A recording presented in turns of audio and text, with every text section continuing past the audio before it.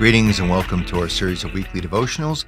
Uh, this week we're looking at a, uh, a challenging passage from the prophet Isaiah to the people of Israel as they are living in, in uh, exile, um, conquered by the Assyrians, and sort of trying to relate that to perhaps some of our, our own difficulties, uh, challenges, and how we hear these prophetic words that, that do stir us and, and challenge us at times. And uh,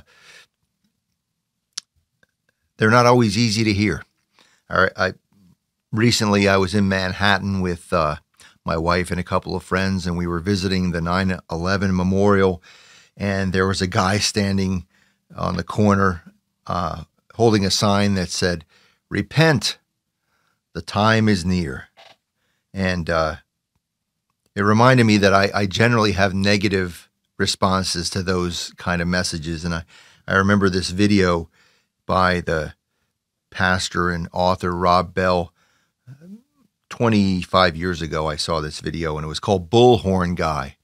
And it was about a similar guy uh, standing on a corner, holding up signs, handing out pamphlets, yelling on his bullhorn for people to repent.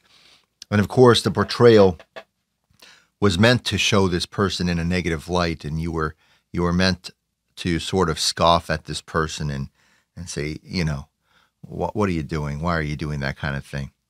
And and I think we sort of we we sometimes have a, a negative reaction to that word, uh, repent. It, it brings up visions of apocalyptic judgment or you know those kind of crazy, wild-eyed uh, street corner preachers.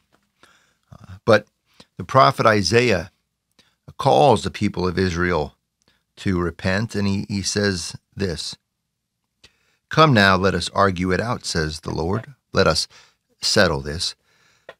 Though your sins are like scarlet, they shall be like snow. Though they are red like crimson, they shall become like wool. If you are willing and obedient, you shall eat the good of the land repentance is really, as we've probably talked about many times before, it's just turning, it's turning towards God.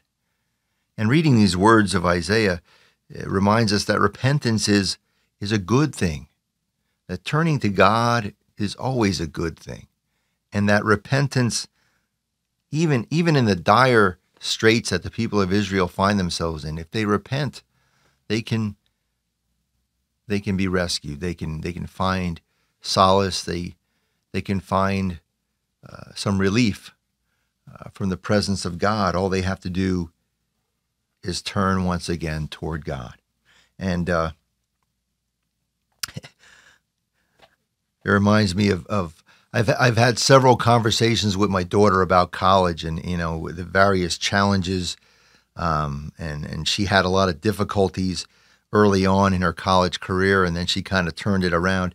And I said to her, "Well, you know, it can be challenging, and there are many things to to consider, but it really it really is it comes down to to a simple equation. You know, if you if your priority is is work and studying, you do well. If your priority is on socializing or friends or parties or other things, you're probably not going to do too well. And I think uh, the prophet Isaiah would probably say something similar. You know, if you turn away from God and and live a life uh, removed from God, things generally are going to turn out poorly for you. If you turn to God and live God's ways, uh, things probably are going to work out pretty well. And, you know, that's really what repentance is all about. Amen.